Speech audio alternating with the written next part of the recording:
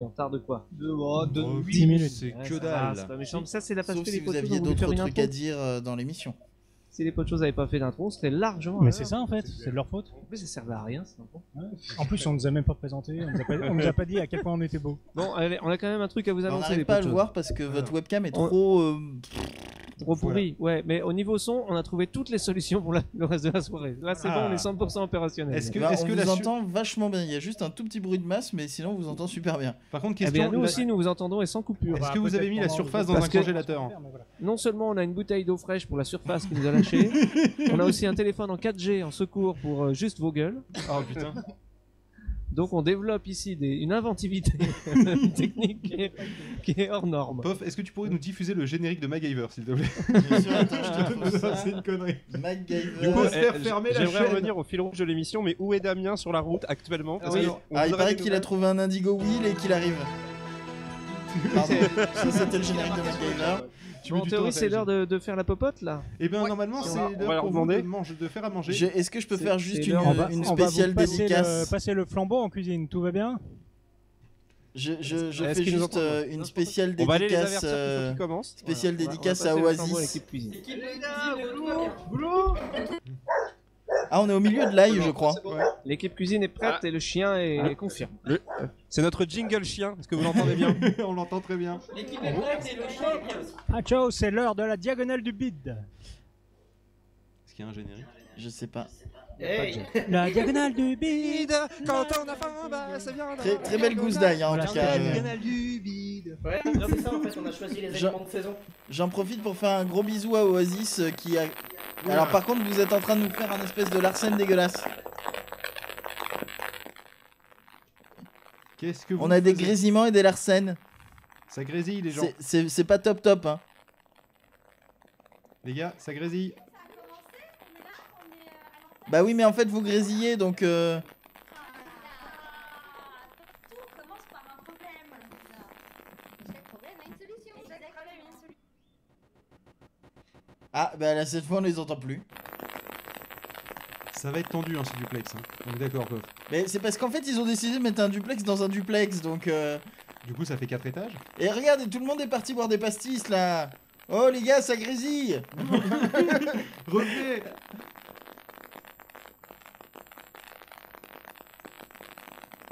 Attends, je leur envoie des messages avec alerte, alerte. Alerte, ça grésille. Alerte grésille.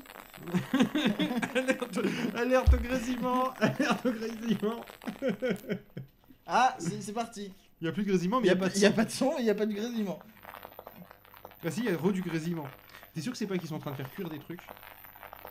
Ça, elles font des frites apparemment vu l'audio, dit Kenton.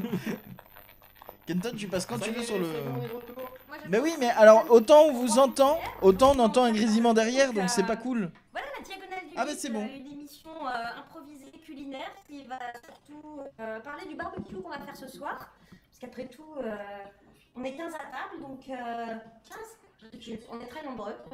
Je croyais qu'on était 18. Ah, peut-être 18, oui, on est 18. Donc, euh, on va faire un gros barbecue parce que c'est la saison et puis c'est festif. Donc, à mes côtés, j'ai des complètement novices du podcast. Voilà, Stéphanie, Violaine, Mathilde et puis caché derrière, euh, voilà, Loli, qui lui n'est pas un novice du podcast. Et donc, on va préparer ensemble le barbecue. On va vous raconter tout ce qu'on va manger ce soir et on va essayer de vous faire baver un petit peu avec tout ça. Donnez en Hein, donner- voilà, en tout cas, donner envie. Et donc, on a commencé. Alors là, ce que vous voyez, c'est des marinades.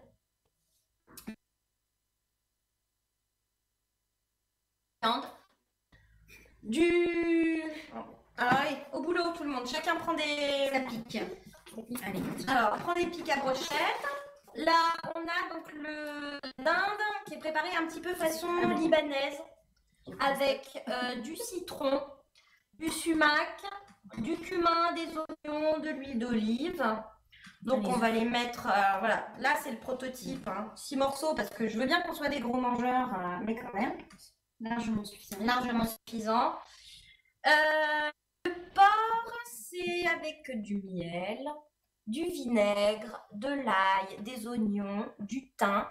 Donc à la cuisson, ça va bien caraméliser. Voilà. Et le bœuf, le bœuf, il est fait à l'asiatique, donc avec euh, du gingembre, euh, de l'huile de sésame, euh, Sauce soja. Qu'est-ce qu'on a mis d'autre? Euh, Du vinaigre de riz. Voilà. Et c'est tout. Et c'est tout en fait. Euh, mais donc le principe d'une marinade, on a des soucis. Le principe d'une marinade en fait, c'est plus ça marine longtemps, meilleur c'est. Et donc le, de base, il faut un corps gras et un corps acide. Le corps acide, ça va permettre de détruire un petit peu le collagène de la viande, donc l'attendrir et de faire rentrer les saveurs qu'on a mis à l'intérieur. Donc des épices. Euh, là, euh, du coup, euh, je suis un peu perdue, je dis du coup comme notre Azertov. Du coup, au niveau des épices, vous, vous avez des préférences en termes d'épices? C'est quoi vos préférés? Moi, je pense que là, ce que je vais préférer, c'est ce qui est libanais. Libanais, J'aime bien côté un peu frais. Ouais, voilà, la fraîcheur euh, du citron, de la menthe. euh, voilà. Alors, normalement, dans cette recette-là, je mets de la cannelle. Parce que moi, je suis une amoureuse de la cannelle. Mais je sais qu'ici, Moi, j'ai une sainte horreur de la cannelle. on a- il y a beaucoup de gens qui ont des problèmes avec la cannelle. Moi, j'aime bien. C'est vrai que, pareil, mon homme, la cannelle, c'est pas ça. Donc Ouais. là, je pense qu'on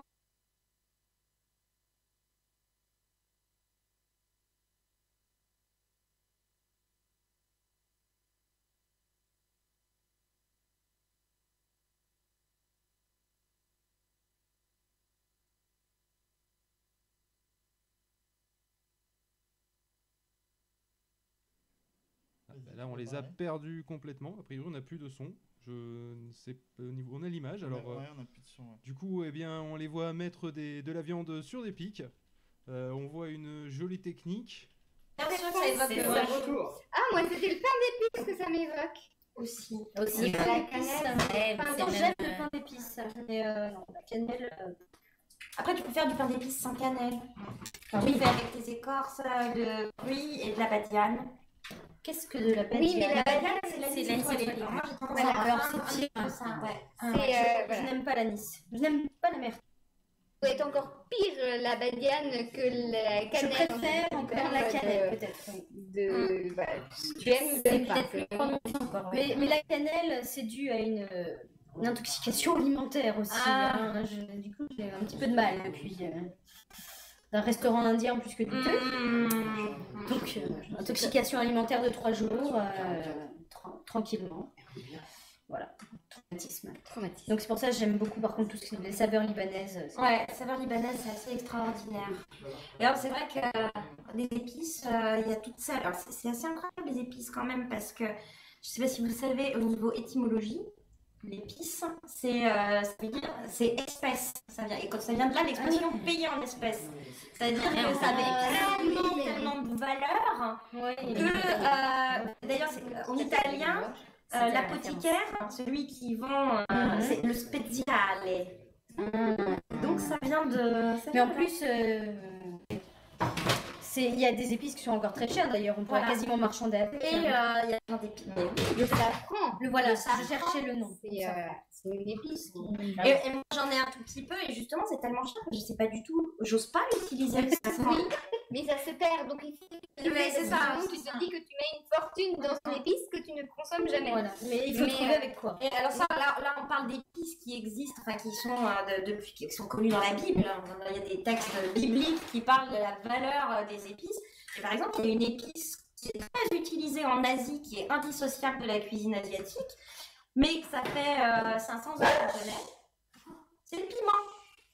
Oui, parce que ça vient d'Amérique du Sud, ça a été découvert euh, par les, euh, les explorateurs euh, en Amérique du Sud. Il n'y avait pas du tout de piment dans la cuisine asiatique euh, il y a 500 ans. Euh, Finalement, c'est assez, euh, assez récent. C'est assez récent, mais c'est devenu indissociable de la cuisine asiatique. Et c'est là que euh, Loli va nous en parler un petit peu parce que t'es un grand spécialiste du piment. C'est un accro du piment C'est un accro du piment, c'est un collectionneur de piments et de sauce piquante. et de sauces piquantes. J'avoue, Non, j'adore. mais c'est ça, c'est l'addiction en fait au, au piquant et, et, et à ce que ça va, à ce qui va avec quoi. Donc euh, concrètement, les, les piments pour moi c'est réellement une, une passion. Je fais ma propre sauce piquante, je fais mes pickles de piment, je fais pousser des piments chez mes parents aussi, Tu fais accessoirement. des, des hybrides euh, où tu travailles euh, l'intensité du piment? Non, non, pour l'instant, on en est vraiment à faire du piment, pour faire du piment. Euh, ensuite, concernant les, les sauces piquantes, bah, c'est vraiment des choses simples. Puisque pour faire une sauce piquante, il ne faut pas non plus des milliards d'ingrédients. Il faut du piment, du vinaigre, un sucre, qui soit euh, du sucre ou des fruits, et un exhausteur de goût, donc euh, un peu de sel, un peu d'ail, et puis euh, Finalement, on terminer un rideau. peu quoi. la- la- des choses de base d'une marinade. euh, C'est ça, et après, c'est. Et en suivant ce qu'on fait comme euh, recette, on peut faire cuire cette sauce, ou on peut juste. euh, comment dire Bah. La faire vieillir, on va dire, et qu'elle va. euh, Il y a, comme le vin, il y aurait un- un- une, une modification du goût, Alors, euh, du goût avec, sur euh, certaines sauces, suivant les piments, suivant ce qu'on fait, euh, il y a des sauces qui peuvent être fermentées. Le sriracha, par exemple, est un exemple pour moi parfait de la meilleure sauce piquante Alors- qui puisse exister, puisque très polyvalent et, et dans une sauce fermentée. Voilà, le, le, le sriracha, c'est typiquement ce qu'on trouve dans les restaurants, euh, restaurants vietnamiens, thaï, Voilà. chinois. C'est ça. C'est l'indice. En fait, c'est la base de beaucoup de sauces euh, piquantes asiatiques. Et c'est délicieux. Et ça-. Alors, alors, si tu crains Tu ne pas- connais pas Non, je, je n'ai jamais goûté pur, donc... euh, Et il faut, il faut, il faut, c'est très très bon. j'aime- Et le sriracha est un mélange, en fait, c'est un mélange fermenté. Euh, en fait, le truc, ce qui est très drôle, c'est que le sriracha est une sauce qui est faite par un Thaï qui a émigré aux États-Unis.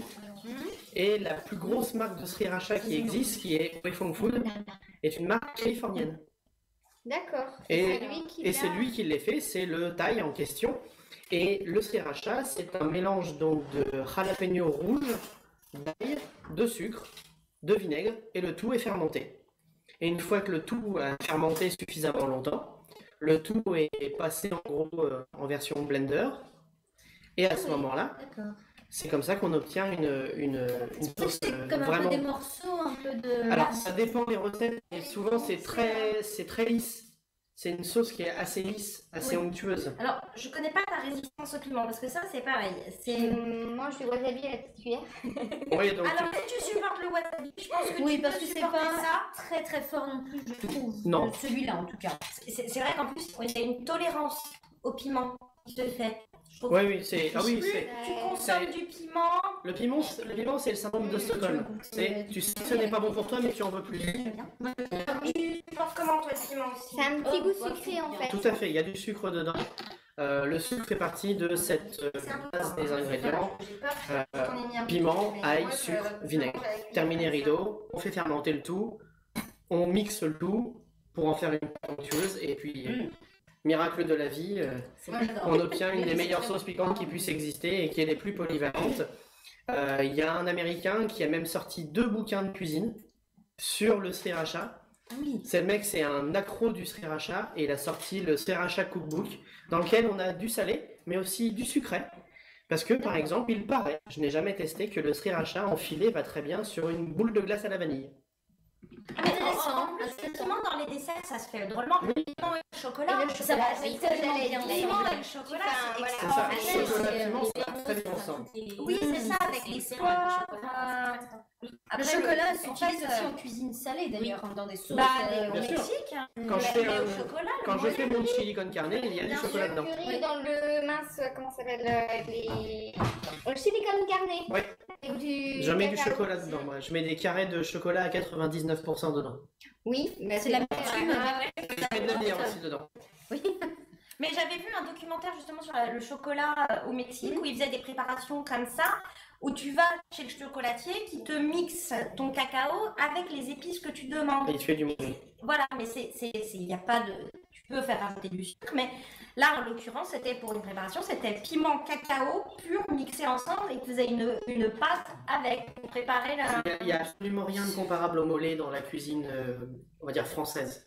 C'est tellement un mélange de goût comme épices. T'as déjà goûté, toi, ça? J'ai déjà goûté du mollet. Alors, certainement pas du très bon, euh, mais Ça donne un aperçu. dans, les, dans le rayon cuisine du monde du Auchan à côté de chez euh, de temps en temps, ils ont euh, des produits mexicains différents. Euh, et ils avaient à une époque un rack complet de mollet. Et j'en ai acheté un pour voir ce que ça faisait. Et donc une grosse cuillère à soupe dans un bouillon de poulet pour le faire fondre. Et on fait réduire un peu le tout. Et ça fait une sauce épaisse qui est une bombe de goût. C'est grandiose. C'est vraiment Mm. excellent. Et du coup, alors, le piment, parce qu'on on parle du piment, mais les piments, c'est pas. On peut pas dire le piment, c'est les piments. Il y C'est a ça. des. C'est ça. Alors il y a une liste de piments qui est longue comme le bras. Tous les ans, il y en a des nouveaux qui sont créés. Ouais, il y a des hybrides. Parce qu'on euh, fait des croisements de boutures de l'un vers l'autre, parce que Mm. bah, l'avantage de- des plantes, c'est que bah, on croise des pieds ensemble et puis on Oui. obtient un nouveau truc. Et euh, le dernier, par exemple, qui a été testé, il n'a pas encore de note de puissance, ouais, ça, ça aussi, tu on va y revenir après. Euh, il s'appelle le Pepper X. Voilà. C'est l'un des derniers euh, hybrides, on va dire, de piment qui a été créé. Il y a des mecs un peu foufous, voire même complètement tapés, qui en créent tous les ans des nouveaux en se disant Bon, eh bien, euh, si j'étais vraiment complètement débile et que je faisais un truc qui était absolument immangeable. Oui, il y a des défis. Après, on est, C'est sur. ça. euh, Et à côté, par contre, il y en a certains qui font Bah, tiens, celui-là, il a un goût de. euh, je sais pas, de- d'agrumes et de caramel. Et si je le croisais avec un qui avait en plus un goût de. Tu sais, de- d'épices vertes, côté très frais, très, très Ouais. verdure. Et puis, tiens, voyons voir ce que ça donne. Des fois, ça donne des trucs qui sont bien. Puis des fois, ça donne de la merde. Et puis, ils arrêtent et puis ils retentent une autre version. Là, le Pepper X, par exemple, c'est la deuxième version qu'ils font. Parce qu'ils essayent de stabiliser les arômes et que ce soit quelque chose de, comment dire, plus intéressant gustativement parlant. En plus de le côté piquant, parce qu'il n'y a pas que le côté piquant du, du piment qui est intéressant, mais il y a aussi le goût que cela donne. Et euh, donc, les piments, je disais, il n'a pas encore été noté, puisque les piments sont classés sur une échelle qui est appelée l'échelle de Scoville, qui a été inventée par un monsieur qui s'appelle Wilbert Scoville. Comme son nom l'indique. Comme son nom l'indique. Donc comme quoi, c'est vraiment un mec qui l'a créé. hein. Et le principe de cette échelle, c'est donc de noter les piments par force. Donc du moins fort au plus fort. Le moins fort aujourd'hui dans la référence des familles des piments, c'est le poivron. Puisque le poivron est un piment. Et oui. C'est la même variété en fait que, que un piment, euh, type le piment de Cayenne, etc. Et donc cette échelle de Scoville correspond au nombre de fois que l'on doit diluer le piment dans une cuillère à café d'un mélange eau et sucre. Beaucoup trop mathématique pour moi. C'est très, c'est très pointilleux parce qu'en fait le, le sucre, en fait, l'eau va éteindre un petit peu puis le sucre va casser, va casser le côté piquant de, de tout ça.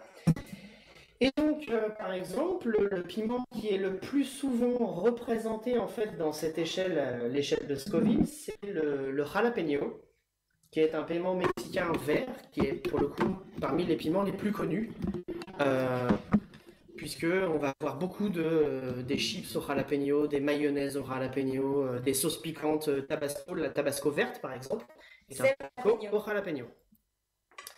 Et donc le jalapeno, qui est un petit peu le, piment euh, référent parce que le plus mangé, il a une unité de Scoville qui est variable parce que tous les piments, en fait, d'entre un pied et un autre, ne vont pas exactement le même comportement.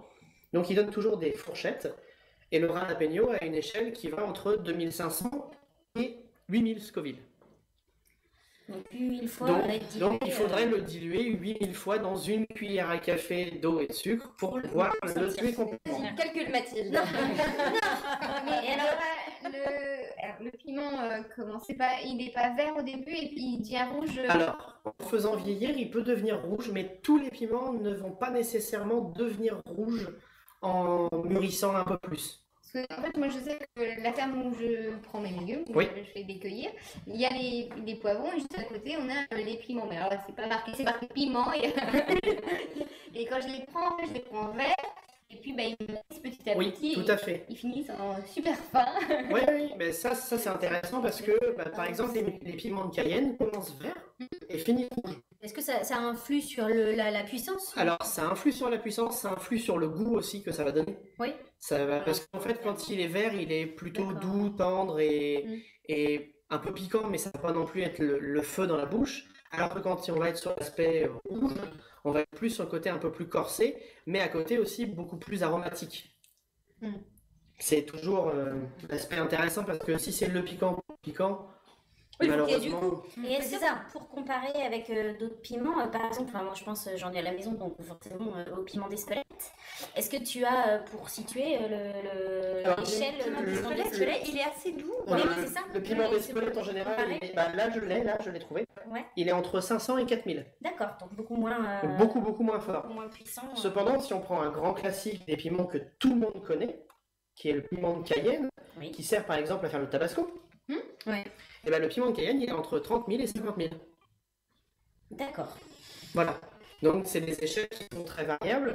Euh, le piment le plus fort que, on va dire, le commun des mortels peut manger, Mhm. le habanero, qui lui, par exemple, est un piment qui est très intéressant quand on fait une sauce, par exemple, avec euh, de la mangue ou des oranges ou de l'ananas. Ça, c'est la prochaine sauce que j'envisage de faire. Euh, l'habanero, lui, il est entre 100 000 et 350 000.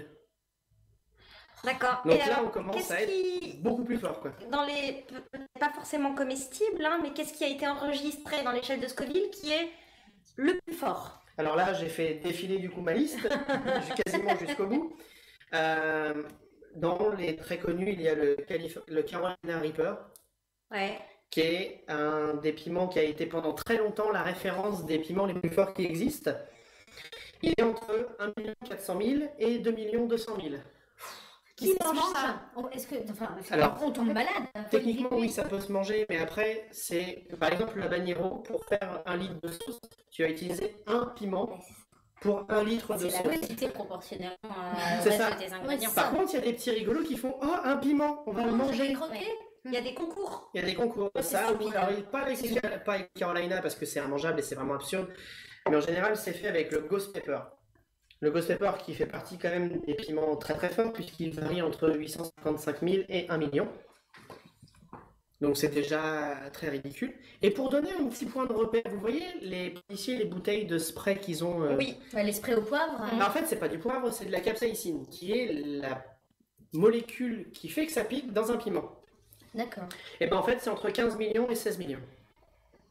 Donc techniquement, c'est comparable à un piment.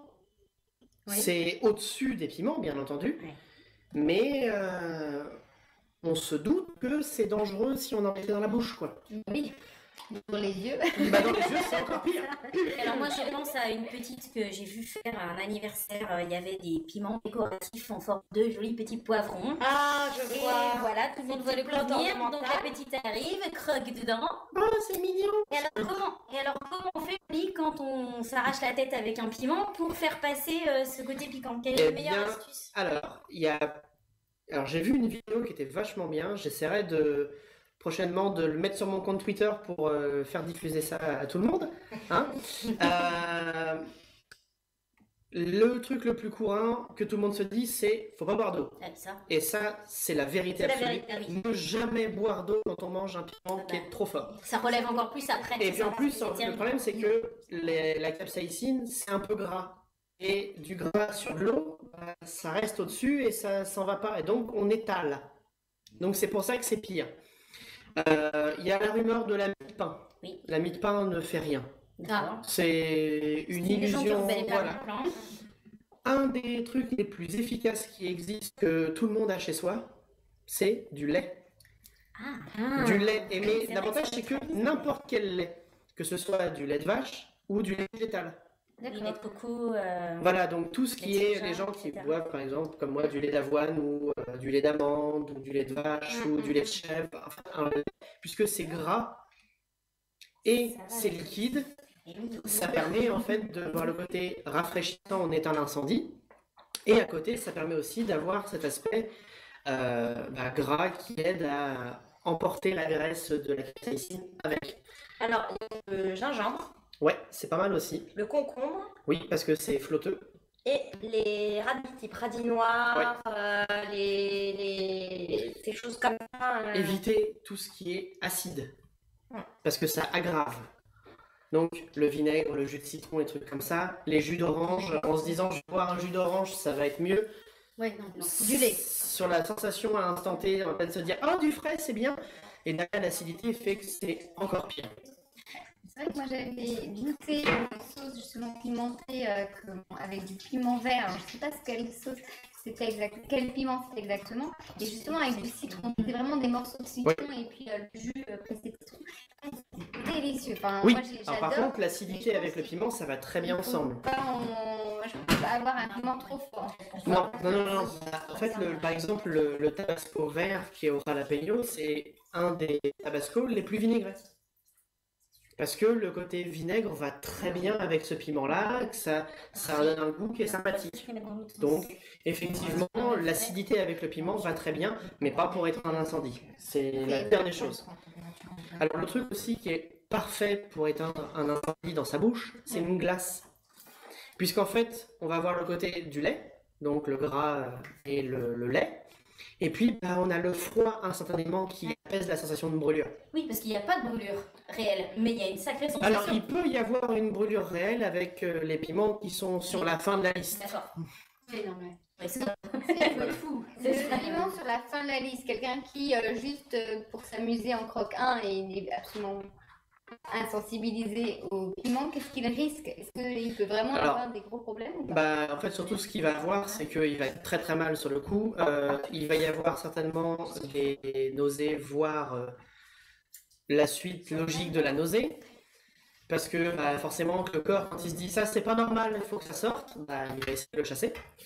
Euh, il y a certaines personnes qui vont avoir des réactions très extrêmes du genre faire de l'asthme et ne plus pouvoir respirer. Ah oui, quand même. Ah oui, non mais faut pas, faut pas plaisanter en fait, parce que le piment c'est très bon, c'est très parfumé, ça donne énormément d'intérêt à un plat que manger. Cependant, il faut l'utiliser intelligemment et les piments très forts comme ça, il faut les utiliser avec précaution. Le bon dosage. Ça, tout est une question de dosage. Et quand on manipule un piment, Oui. on met des gants. On met des gants Oui. parce que sinon, moi qui Et écrase après des petits piments.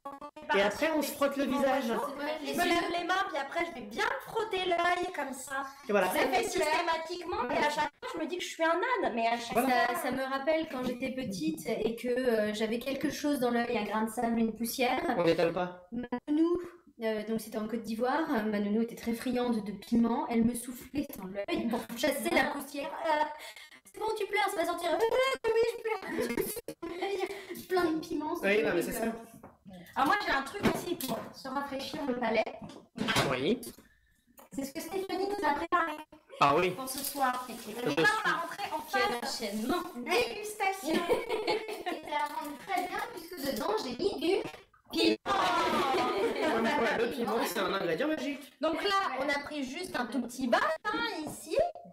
En vrai, on en a bien quelque chose comme 5 litres dans le frigo. Vas-y, explique-nous. On est nombreux. Donc voilà, c'est un petit gazpacho euh, tout simple. Euh, moi, je ne suis pas du tout, euh, je ne suis pas les recettes. Je fais au gré des ingrédients que Les, j'ai les vrais cuisiniers font ça. hein. Voilà, c'est ça. Ce que je fais, par contre, je choisis toujours des très bons produits. Parce que je trouve que quand En fait, mais en plus, un, un bon produit, des fois, ça il se suffit à lui-même. Par exemple, Violet nous a ramené des tomates cerises du jardin. Enfin, ça- tu les manges, il y a du il y a du goût. Ça pas besoin. euh, Voilà. Il y a, y y des produits comme ça, les tomates, si on, les prend, qu'elles ont été importées, qu'elles ont mûri euh, Et que c'est dans pas la un sac saison. euh, ou dans un cajot, Voilà. ça n'a pas de goût. Moi, Donc, j'appelle euh, ça des calories vides.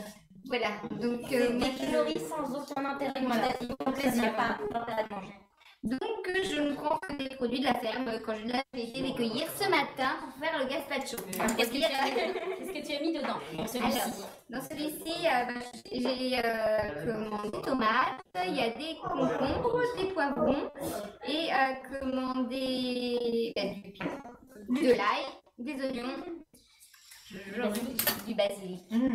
Que j'ai pris, voilà. L'huile d'olive. Ici, j'ai un peu d'huile. Il y a de l'huile. L'huile d'olive.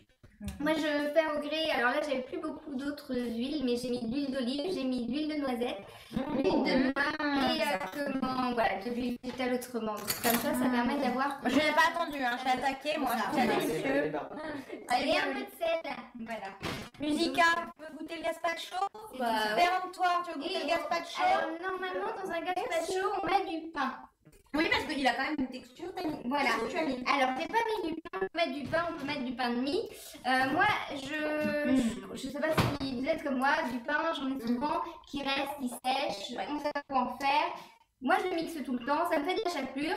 Et notamment dans le gazpacho, et ben plutôt que de moudre du pain frais, je prends mon, euh, voilà, ma chapelure, faite maison. On peut aussi, je Mm. rebondis, pour utiliser le pain qui, le pain qui, qui sèche, euh, le couper, faire, euh, enfin, faire euh, un petit mélange d'huile d'olive, persil, ail, et on fait des petits croutons au four et on les met dans le gazpacho. Et on les met dans le gazpacho. C'est ça qui manque, c'est ce que j'allais dire. Il manque le petit pain euh, grillé avec euh, monté à l'ail. Qui est, euh, voilà, j'ai mis pas mal vraiment d'ail. très très bon. L'ail ail extrêmement parfumé. quand même. L'ail, euh, Alors c'est pas, pas l'ail. l'ail rose. c'est. Azertov qui nous a ramené ça là. C'est l'ail violet que je mets. Ouais. Il est C'est sauce de beaucoup et bon. Voilà, donc c'est délicieux. C'est quasiment euh, la texture d'une purée, vraiment. Enfin, c'est on va faire au bien sûr. Donc là, c'est vrai que comme j'ai fait- comme j'ai fait Voilà, elle nous signale que Madame était Ok. Le problème là. Et comme il est j'en ai fait pas mal, donc j'ai j'ai mixé un peu tous mes ingrédients euh, séparément et après j'ai tout remis ensemble, tout mélangé et euh, j'ai terminé avec euh, l'huile d'olive pour essayer de la faire monter démon. Tes tomates, elles sont pelées ou tu les mets euh, Je ne pèle rien. Le- le- L'oignon et l'ail. Euh, Le concombre, même. euh, Le concombre, j'ai laissé. Alors, c'est pour ça que les- il est un petit peu plus vert. D'habitude, le gazpacho, c'est quand même bien rouge. Alors, ça va dépendre déjà si vous mettez des poivrons rouges, des poivrons verts. Moi, à la ferme, en fait, euh, ils. ils ils tiennent pas si on les laisse trop longtemps. Donc, euh, quand tu vas. ils- voilà. Moi, je les prends verts parce que dès qu'ils commencent à rougir, ils commencent à pourrir en même temps. Donc, je les ramasse verts. Si j'ai le temps, je les laisse rougir chez moi. Comme ça, j'ai des pommes rouges, je les ai toutes les couleurs. Mais là, comme je les ai fait les cueillir euh, ce matin, donc ils étaient vraiment vert vert. Et donc, piment, j'ai mis du piment entre vert et rouge. J'ai pris un, un, euh, mix pour pas qu'il soit trop fort. Parce que C'est, tout le monde n'aime pas le piment, tout le monde ne supporte pas. Donc, j'ai mis un petit peu. euh, voilà. Et tu as laissé ton contre la peau, ton concombre, euh, qui était un concombre Voilà. tout ça. Donc, du coup, on peut laisser toute cette. euh, toute cette pleine de vitamines. Le, là, moi j'ai fait une focaccia. Donc c'est une espèce de pain, euh, pain italien. euh. Alors, ah, c'est le mélange des genres. Hein. Gazpacho espagnol, euh, Focaccia reste italienne. Focaccia c'est la italienne. Méditerranée. Voilà, Italienne. c'est la Méditerranée, mais voyez, pour un petit bout de focaccia, là, et manger son gazpacho, euh, je pense que ce sera sympa. Ça va être sympa. Et donc, du coup, euh, pour la viande, là, Mathilde, euh, je pense que tu veux nous préparer un petit truc. Hein, c'est l'instant euh, cuisine en direct. Expérimentation euh, culinaire. L'instant euh, sans compteur. Mathilde, elle va nous faire une petite recette. Vas-y, explique-nous. Alors, c'est euh, une, une, une sauce salade euh, à l'œuf dur.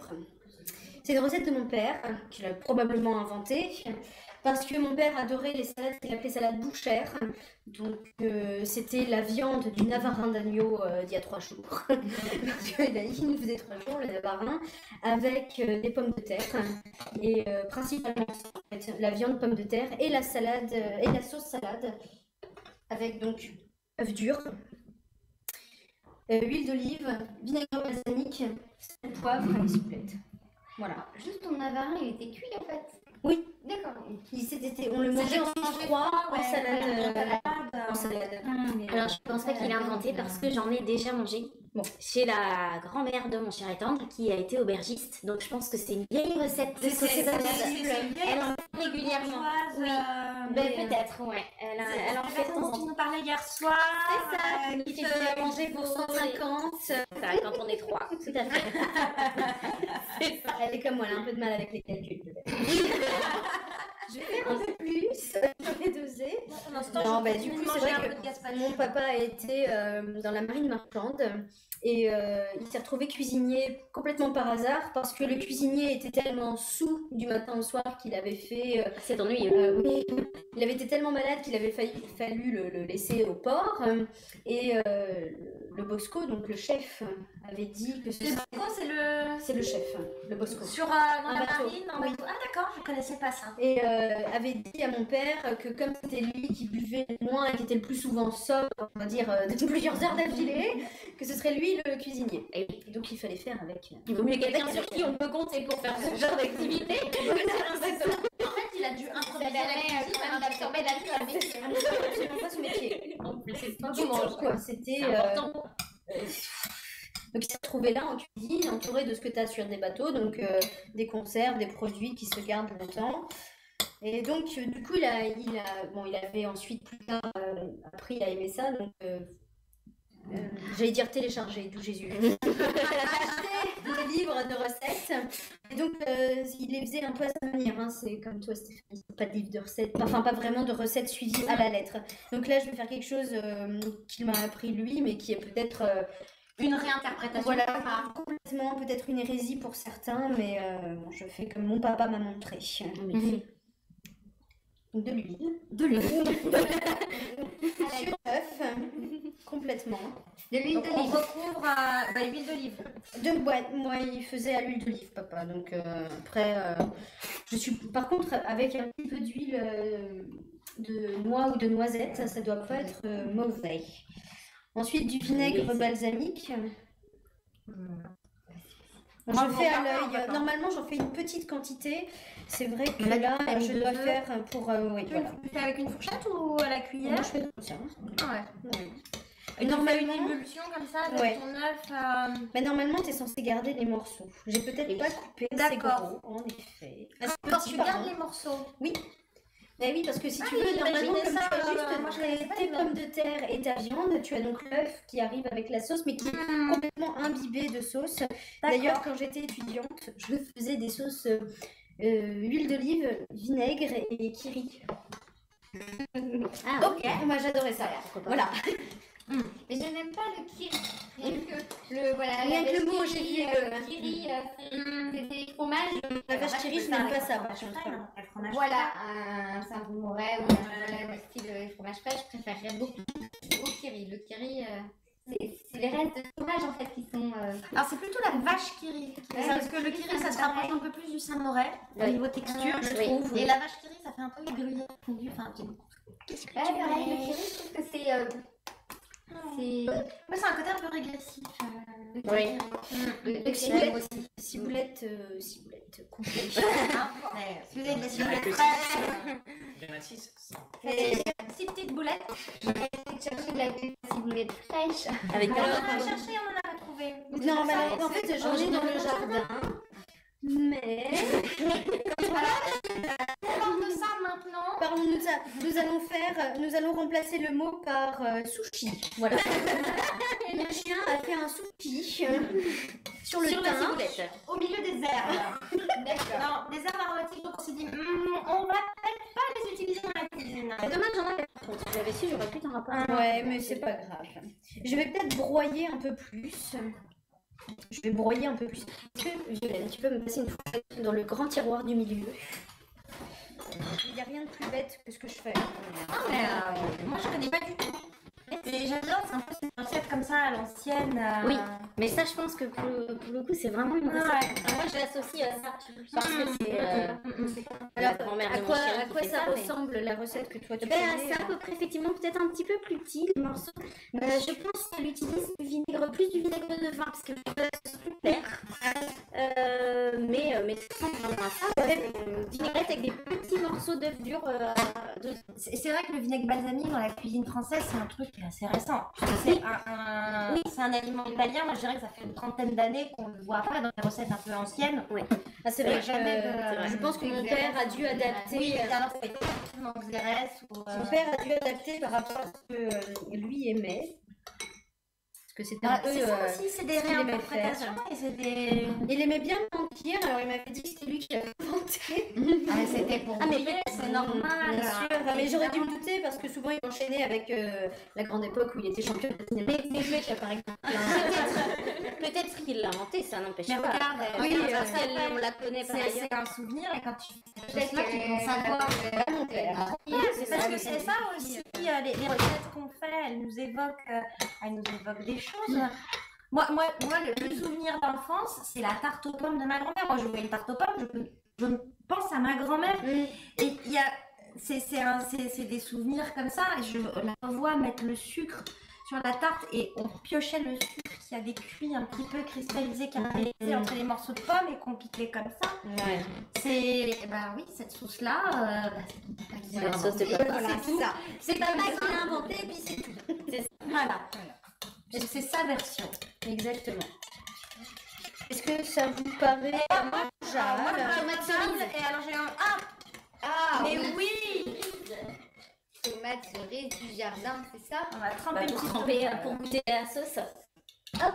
Et alors les œufs n'avaient pas beaucoup de jaune, donc c'est vrai. C'est les, c'est les tomates cerises du jardin de Violaine et Hirslo, quand même. Rendons leur hommage, elles sont magnifiques. Alors les jaunes là. Ah, votre retour de. Bonne tomate. Les tomates cerises de la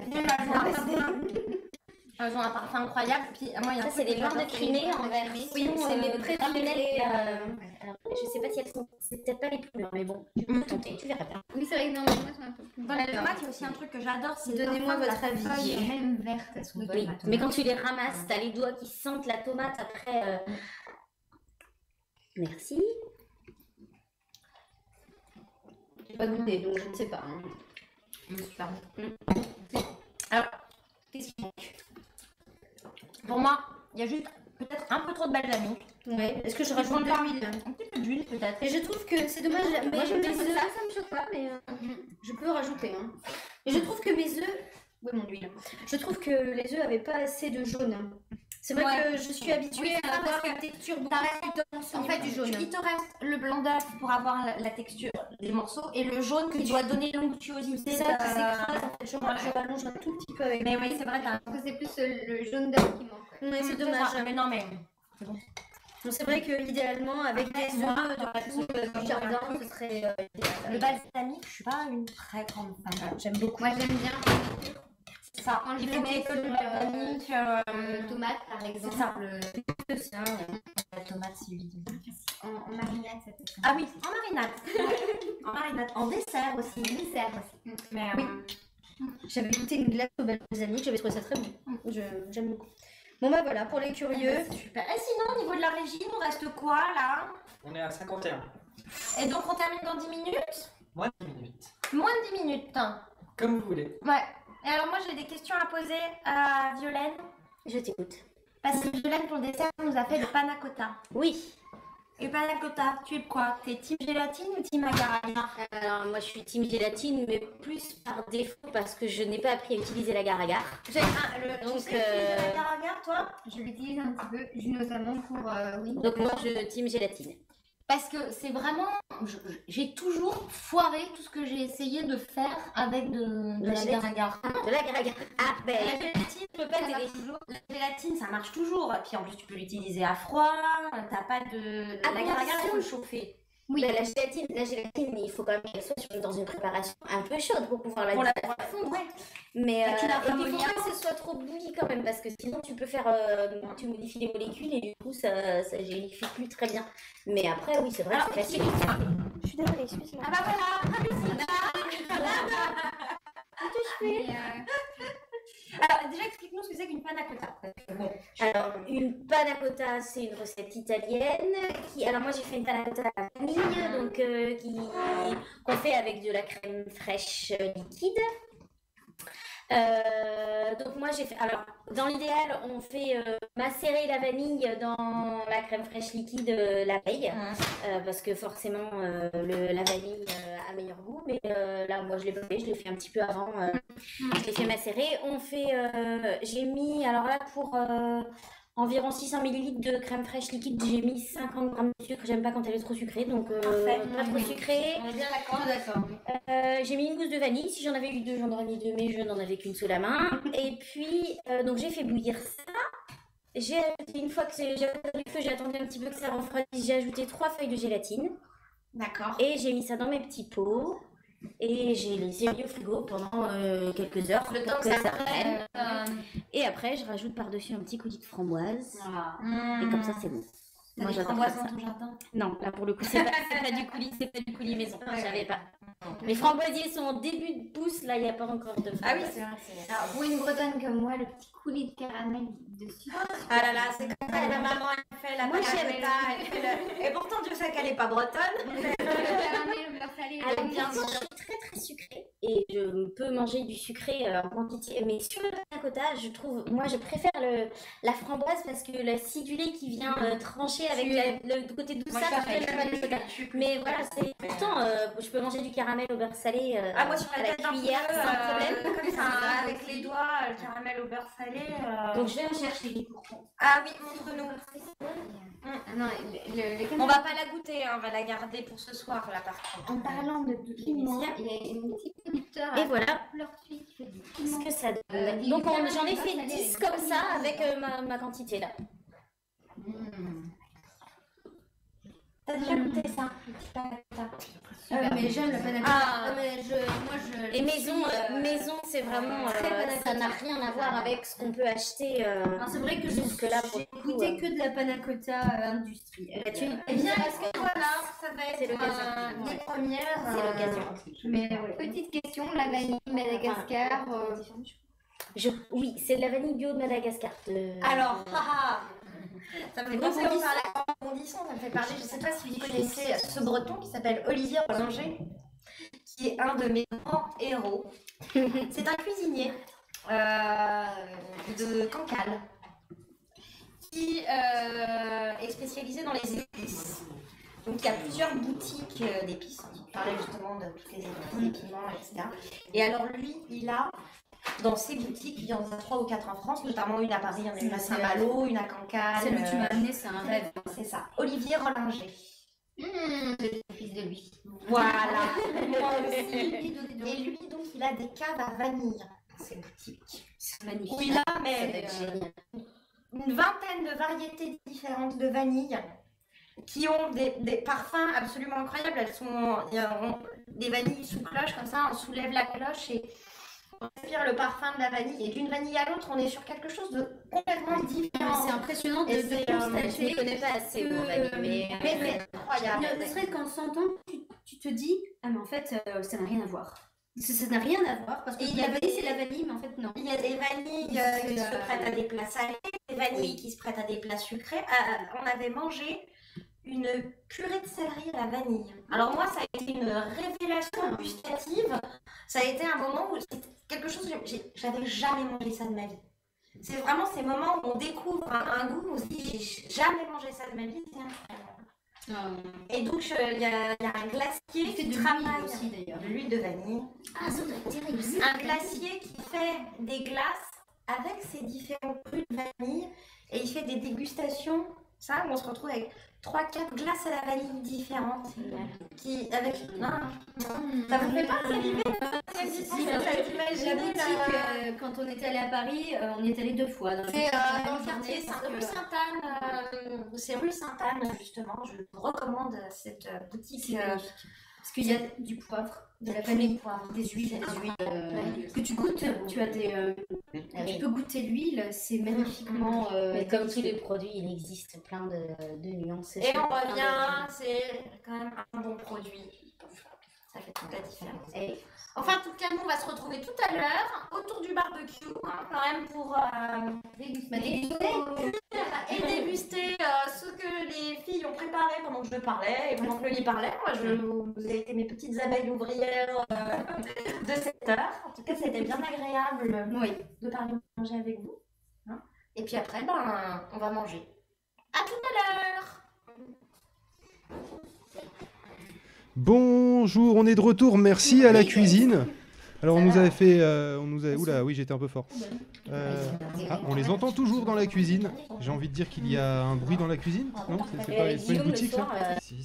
Ah, ça y est, c'est bon. La cuisine a été coupée. Ah, je vois que Bad Geek aussi est en train de se poser euh, tranquillement, préparé pour les podcast awards. Bah ouais, on retour- le retour du bruit de masse. Le retour. Bah oui, ils sont C'est de donc retour. le- le- l'extérieur, on va dire Oui, que bah c'est ça va, on va y arriver, c'est bon, merde. Sinon, vous auriez pas pu aller régler le Ah micro de vos collègues dans la cuisine Pour vous, euh, on a tout fait. On est au taquet. On est, On on fait. quasi professionnel. Le- euh, comme le micro à la voix d'hélium dans la cuisine, là, vous, vous, pouviez pas les Alors, aider. Alors c'était une licence euh, poétique. Ouais. Voilà, C'était un style. T'as C'était assumé, hein. c'était pour anonymiser les Il y avait une fuite d'hélium. euh, Ah oui, mais c'est un four à hélium, c'est ça. On termine la soirée par une explosion de la maison. Mais ça, ça va être marche pas magnifique parce qu'on n'a pas trouvé les artificiers. Euh, Non, déjà, on essaie de trouver des drones. D'accord. on essaie de trouver des On drôles. essaie de se connecter au drone petit à petit. On va y Petit arriver. à Vous avez essayé de mettre une Centimètre bouteille d'eau par glacée centimètre. dessus On va y arriver. Là, on est parti sur l'idée de le brancher sur un câble Ethernet Oula, d'une longueur à peu près Oui, approximative. avec un enrouleur, euh, mettre un drone avec un enrouleur. ça va être Ça doit terrible. pouvoir marcher, hein. Ça devrait, ça devrait. Après, ça dépend la- le poids du câble. Au bout d'un moment, c'est le, le Ah, et drone ne il faut peut un plus gros monter. moulinet, quoi. C'est ça, voilà déjà. Jingle chiant. Puis on a quand même Euh, le proprio qui est là, donc c'est compliqué. Du coup, avant de, étant donné qu'on a un petit peu d'avance et que euh, on, Ah, on on a, on a eu du lobby euh, de la part de, de l'un de l'équipe qui en ne peut avance. pas hein, être là, Il est 19h59. euh, vu qu'on n'est pas à la bourre, haha, On n'a Euh, pas ton quart d'heure tous les ans. ouais. c'est ça. euh, on a juste une petite bande-annonce de 3 minutes à passer et après on passe au podcast awards, juste le temps que nous on s'installe. Yes. Voilà. Donc du coup, euh, Jean-Michel Poff de la régie. Oui. euh, Est-ce que tu peux nous balancer le truc Ah, et puis attends, tu, vais- qu'est-ce qu'il y a Tu mets, tu nous mets Bah, sur J'en profite aussi pour couper l'enregistrement et le relancer. D'accord. Est-ce que tu peux virer Ah, la, en oui, peux pour virer le petit truc virer de le l'hélium parce que qui non, on dit- n'a pas d'hélium. Qui Donc, dit qu'ils savent pas Voilà. un micro. Oh, comment ça casse. Ensuite, après ça avait l'air très bon hein, ce qu'il faisait. hein. Ouais. Très aigu mais très bon. Alors, C'est le piment. Ah bah on dira ça tout à l'heure. Nous, on n'a pas les images, mais. On aura le relance, goût. on relance l'enregistrement. Démarrer Voilà. l'enregistrement à nouveau. Là, on Quoi, vous avez des problèmes techniques Vous êtes vraiment des flèches. là. Non, non, justement, on, prévoit, on prévoit pour pas avoir de technique problème technique. Ce soir. Parce Et que euh, nous, on fait va. des lives assez souvent donc du coup on on connaît, on connaît les bails. Tu veux dire une fois par an? Hum. Euh, Du coup on diffuse Ouais, un spot, c'est ça fait Un petit spot de rarement trois dans ces minutes. conditions. quoi. Un petit spot de 3 minutes. Vous avez donc 3 minutes pour faire le bordel sur Twitter pour dire que c'est le- les podcast awards. Et on se retrouve euh, juste après. Attendez, vous pouvez parler un tout petit peu, euh, Bad Geek, s'il vous plaît? Juste pour savoir si on coupe le bon truc en fait. Ah oui, Voilà, effectivement, c'est bon, bon. on vous coupe, Allez, là, on se retrouve vous dans entend minutes. L'équipe de Red Universe est fière de vous présenter sa toute nouvelle série intitulée Force mentale. Hôpital psychiatrique dédié au manteau, le lendemain. Les TOAC ouvrez les yeux dans une chambre. Vous restez verrouillé à mon travail d'analyse. C'est votre droit. Nous poursuivrons donc de manière traditionnelle. Les TOAC ne sentaient une présence que d'un homme moment. Des pensées menaçantes troublèrent soudain sa sérénité. Un flot ininterrompu de pensées inconnues le traversa alors l'esprit, tandis que la bataille psychologique commençait. Je m'appelle MT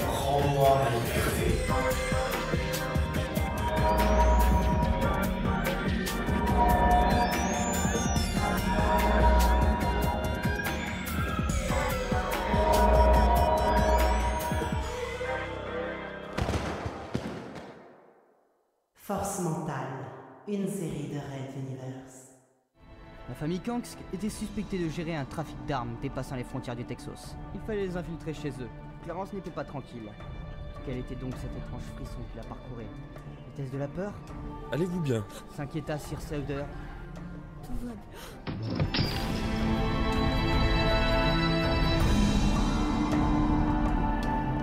Mesdames et messieurs, ici le commandant de police Nestor Rombiano. Je suis en charge de démêler les faits entourant ce terrible accident. Je vous demande toute votre collaboration envers moi et mes collègues. Merci de votre attention. La vision du cadavre souleva le cœur de Gordman. Sa chef avait le visage fermé, tandis que Rubiano grimaçait. La posture était à la fois ridicule et terrifiante. Vous savez, on ignore beaucoup de choses de nos capacités mentales. Spécialement avec un agent hautement entraîné.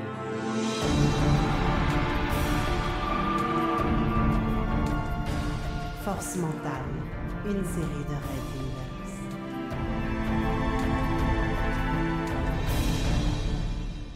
Bonsoir, ici Elosia Mackenzie en direct d'une barricade militaire dans le Lorissoc. C'est l'heure de la vérité. Nous avons constaté un nombre important de décès inexpliqués au sein de la faune locale. Nous allons nous retrouver après une courte pause musicale. Il faut rentrer Bloquez toutes les issues Mais bordel Elle va te planquer dans le premier bureau. Je m'occupe du reste. On pense avoir trouvé un chemin à protection jusqu'aux navettes. Je dois me ressaisir. Ça n'a commencé que depuis 96 heures. Osez me dire que cette saloperie est de votre sort. Maintenant qu'on a ça en notre possession, on peut aller de l'avant. Mais quelle contamination Force mentale, une série de Red Universe. Retrouvez votre nouvelle série sur forcementale.fr.